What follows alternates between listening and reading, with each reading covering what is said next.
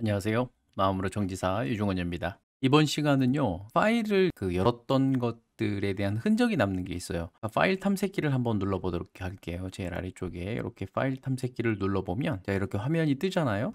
여기 보면 최근 사용한 파일 이렇게 있을 거예요. 너무 많이 이제 파일을 열다 보면 목록이 뜨게 되는데 요거를 삭제를 하려면 여기를 전체를 블럭 설정을 하고 눌러서 여기서 즐겨찾기 제거를 누르면 웬만하면 이게 다 지워져요. 근데 가끔 가다가 이 파일이 지워지지 않는 경우가 있어요. 저같이 이런 거에 좀 민감한 사람 같은 경우는 좀 짜증이 나는 이제 그런 현상이 발생을 하게 되는데요. 그럴 때는 지울 수 있는 방법이 좀 있습니다. 이 상단 메뉴에 보면 보기라는 곳이 있어요. 보기를 눌러보면 이렇게 쭉 여러 가지 메뉴들이 뜨게 되는 되는데 오른쪽 끝에 옵션이라는 부분이 있는데요. 여기에서 그 폴더 검색 옵션 변경이라고 되어져 있는데 이거를 딱 눌러보면요. 이렇게 뜨게 됩니다. 이 중에서 여기 보면 즐겨찾기 최근 파일의 표시, 그다음에 즐겨찾기 최근 사용된 폴더 표시 이렇게 되어져 있는데 여기서 클릭을 해놓고 여기 지우기를 눌러버리면 딱 지워지는 걸 여러분들이 보실 수 있을 겁니다. 뭐 별거가 아닌 걸 수도 있기는 하지만 여러분들이 어, 그동안 열어봤던 파일을 삭제하는데 활용을 하면 좋을 것 같고 같고요. 혹시나 뭐 아까 거기서 이제 표시가 되어져 있었잖아요. 그 표시를 삭제를 해버리면 즐겨찾기가 그러니까 최근에 사용한 파일이 생성이 안 된다라는 거 참고해서 어, 보시길 바랍니다. 조금이나마 도움이 되셨으면 좋겠습니다. 감사합니다.